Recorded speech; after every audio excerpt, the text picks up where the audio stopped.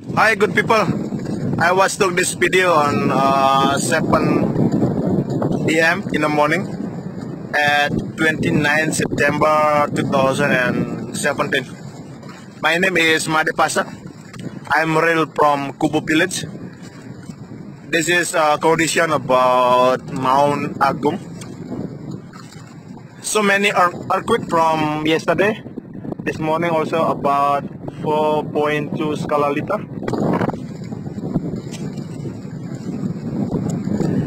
Still some bogey coming out from the top of Vulcan. You can see from the video.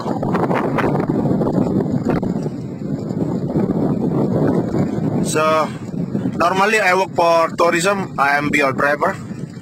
But right now there is no foreigner come to my village, so the economy in Kubu totally is blocked. But when the condition is getting better, I hope all people come to Bali again.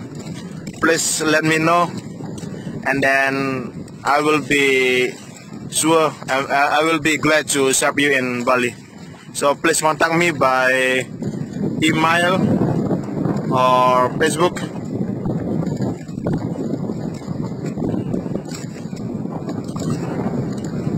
Thanks a lot, people. Ciao, ciao.